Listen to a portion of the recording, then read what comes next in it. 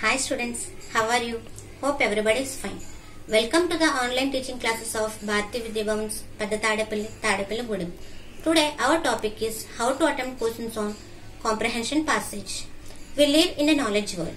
We are expected to observe and return a great deal of written information quickly and attentively as our needs and purposes have become more diverse. The growing number of books and magazines show that we are reading than ever before. Besides, science and technology have given us considerable leisure to enjoy reading. The academic success of students depend upon the reading habit, but most of the students read passively, failing to comprehend whatever they read.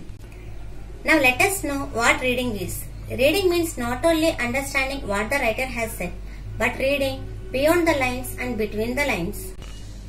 The following rules should be followed while attempting questions on comprehension passage. First, read the passage and get the general idea. Second, read the questions and understand its meaning. Third, read the passage once again and find out the portion from where you can get answers for the questions.